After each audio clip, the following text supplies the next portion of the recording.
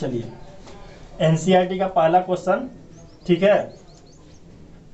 लिखा है, त्रिभुज ए बी सी में, जिसका कोण बी का हो, समकोण हो। जिसका कोण बी समकोण समकोण मतलब 90 डिग्री जिसका कोण का है 90 मतलब समकोण मतलब 90 डिग्री हो। ए बी ए बी बराबर कितना दे दिया? 24 सेंटीमीटर कितना दे दिया? 24 सेंटीमीटर और बी सी बराबर सात सेंटीमीटर बीसी बराबर सात सेंटीमीटर ठीक? तो निम्नलिखित का मान ज्ञात कीजिए ठीक है? चलिए। तो 90 के सामने क्या होता है? कौन 90 के सामने क्या होता है? कौन जिसको हम लोग एच कहते हैं ठीक? अब रह गया थीटा मानने की बात। तो थीटा यहाँ मान लेते हैं।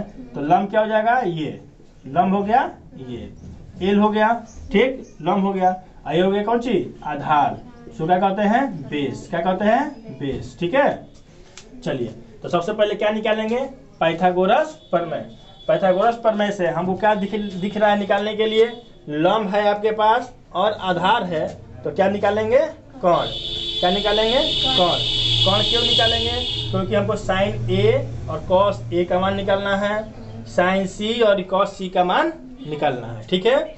तो कौन सा कौन सा फॉर्मूला लगाएँगे पाइथागोरस प्रमेय जो आप लोगों को पीछे वाले क्लास में बताया गया है ठीक है अब चलेंगे पाइथागोरस प्रमेय से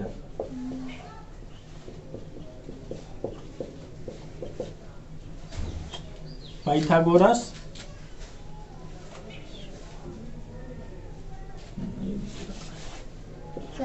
है ए बी सी एक समबाहु त्रिभुज है जिसमें बी सी समकोण 90 डिग्री है कोई कोई दिक्कत नहीं है। ठीक है ना? ऐसे भी लिख देंगे। उसमें पाइथागोरस लिया है ना? लिख देंगे। त्रिभुज ए बी सी कच्चा देखा लिखा दिख रहा है नहीं? त्रिभुज ए बी सी पीछे से देखिए पीछे से। हाँ। त्रिभुज ए बी सी ठीक है ना? एक दिख रहा है। नहीं सही नहीं दिख रहा है। नहीं दिख रहा है ये? सही है सही दिख रहा है। छोटे छोटे। दिख रहा है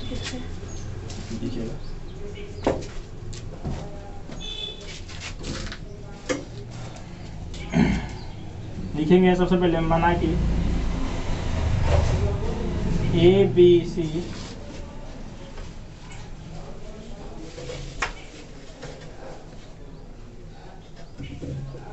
माना कि। त्रिभुज ए बी सी एक। समकोण। त्रिभुज है, जिसमें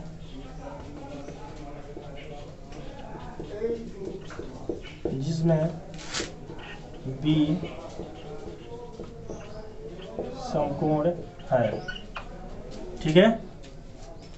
अब फॉर्मूला लगाएँगे पाइथागोरस पर में। पाइथागोरस पर में से ठीक है? फॉर्मूला क्या होता है? पाइथागोरस प्रमेय का कौन स्क्वायर बराबर? लम स्क्वायर प्लस आधार स्क्वायर क्या होता है? पाइथागोरस का सूत्र क्या होता है? कौन स्क्वायर बराबर? लम स्क्वायर प्लस आधार स्क्वायर ठीक है? तो क्या कर दिया है मेरे पास? कौन? निकालना है। लम क्या दे दिया। लम लम थीटा के सामने लम होता है। कितना हो गया? सात का स्क्वायर आधार कितना है? चौबीस। का स्क्वायर कौन स्क्वायर कितना है उनचास प्लस चौबीस का स्क्वायर कितना हो जाएगा? चौबीस गुने चौबीस कर देंगे, सोलह, आठ, एक, नौ, आठ, चार। सात, पाँच सौ छिहत्तर। पाँच सौ छिहत्तर। ठीक है तो कौन स्क्वायर बराबर हो जाएगा? जोड़ देंगे छः सौ पच्चीस। तो जहाँ रूट स्क्वायर हटता है तो रूट आ जाता है। तो 625 का निकाल देंगे, कितना हो जाएगा? 25 कौन कितना आ जाएगा? 25 हम लोग कौन कितना आ गया? 25 ठीक है? कौन 25 आ गया? फिर अब निकालना है हम लोग किस कौन कौन कौन सी common sine A cos C एक sine A cos A sine C और ए कॉस सी का मान ज्ञात करना है। ठीक है?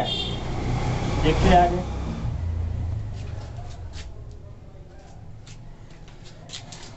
क्वेश्चन नंबर पहला।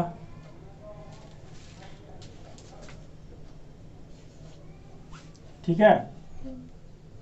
साइन ए कॉस ए बराबर है।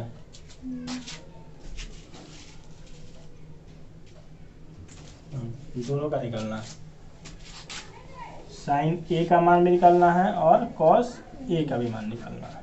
ठीक है? चलिए। साइन ए ए ए देखेंगे। ए ए कहाँ है? यहाँ। ए यहाँ, ना? तो अभी फार्मूला बताए थे। साइन थीटा बराबर क्या होता है? साइन थीटा क्या होता है? लंब बटा में कर्ण ठीक? तो हमको क्या चाहिए? लंब बटा में कर्ण चाहिए। ठीक है ना?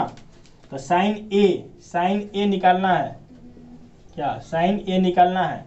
तो साइन थीटा लंब बटा में कौन? तो मतलब ए ए के सामने जाएँगे तो क्या हो जाएगा? ई हो जाएगा थीटा। और थीटा के सामने क्या होता है? लंब। तो लंब हमको चाहिए तो लंब कितना है? सात। ठीक?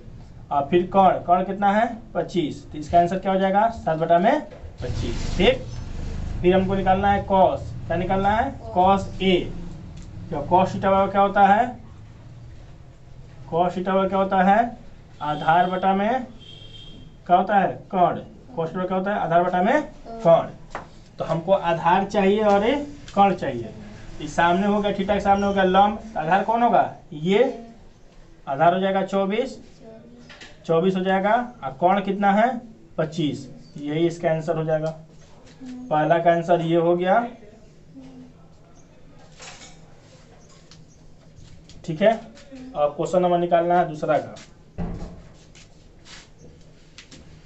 नहीं दिख रहा पहले इतना कर लेते हैं। ठीक है?